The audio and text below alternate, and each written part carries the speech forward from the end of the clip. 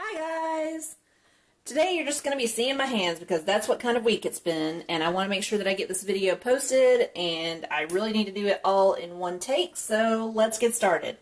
I've just pulled these cookies out of the oven. If you could have like heat-o-vision then you would feel the heat coming off of the pan. Hence I'm not touching it. Um, I have been watching the Scream Queens um, and really enjoying it and one of the episodes, I think it's the Pumpkin Patch episode, then Chanel number five um, makes toenail cookies, and they're cookies in the shape of a heart with her toenail shavings on top.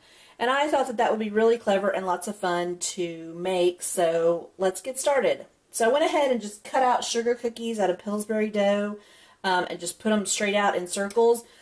I know, they're not in heart shapes. How do you fix that, Sam? Well, I actually learned this trick from Hey Kaylee and I really like it. You just go ahead and put the cookie dough out there in circles and then you take your actual shape, whatever you want to use. I have a small one here also um, that I'm going to use out of this one and you just go ahead and you cut it after you cook it for most of the time or all the time and right when it comes out of the oven when it's still warm.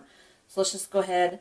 I'm going to and then it comes out as a really nice shape instead of this one um, over here, this little one here on the side, looks like a circle, but I actually cut it out on the cutting board and then put it on the cookie sheet.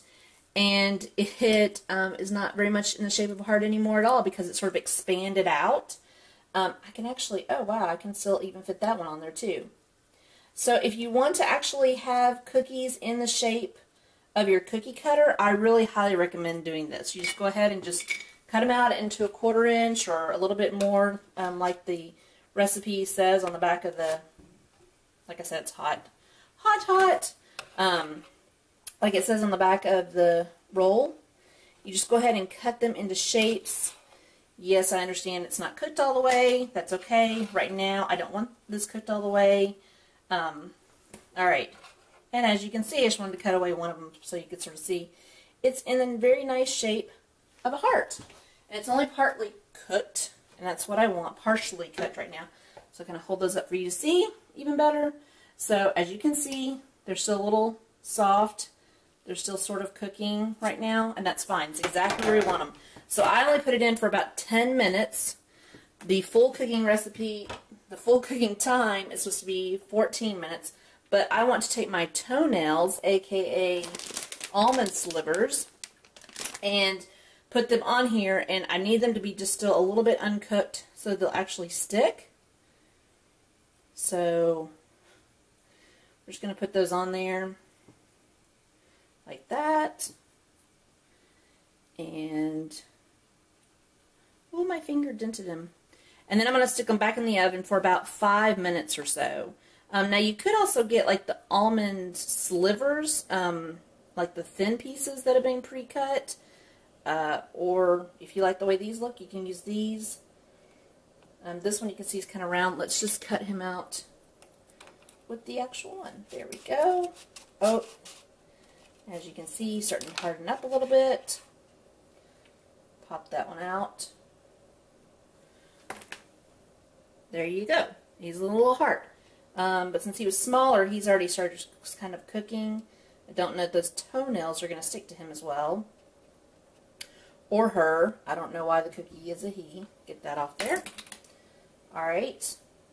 And then, one other little idea that I had, because it was the Pumpkin Patch episode, and so it was kind of a Halloweenish episode, I thought about what if you have bloody toenails or just red toenails in general? Um, you know, like she's painted her toenails red and then she cuts them, cuts the toenails, the clippings off.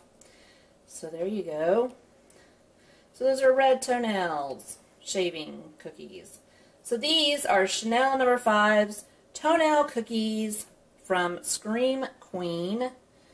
Um, I think that's like, I don't know. I just looked it up before I started talking, so episode five or so. I believe. The Pumpkin Patch episode. I think that's right. Please, in the comments below, correct me if I'm wrong. And there you go. So now I'm going to stick these back in um, and let them cook for just a few more minutes. Isn't that cool? I think it's pretty ingenious. And they're staying on there, so that's good. So I took them out in time. Um, if you want to know what I did, I actually just took some assorted food coloring, the red, and just sprinkled it on there um, and mixed it up there. So just sprinkle a little bit on here. And then just sort of mix it up there until all of them are already sort of getting the color. Um, and then the batch that I'm actually using, I let sit overnight, and you can see how nice they take in the color. So you might want to do that if you have the time, just let them sit overnight. So I'm going to stick these back in the oven and let them cook for the next 10 minutes or so. I'm sorry, the next 5 minutes. And then I'm going to scoop them off and let them cool and enjoy me some toenail cookies from Scream Queen. So if you like this video, please like, subscribe, comment, leave a comment below.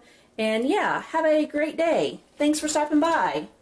Maybe next time, maybe next time you actually get to see my face. Because it's such a glorious thing. Bah ha ha ha. Check out my cool nails. They're all shiny and black.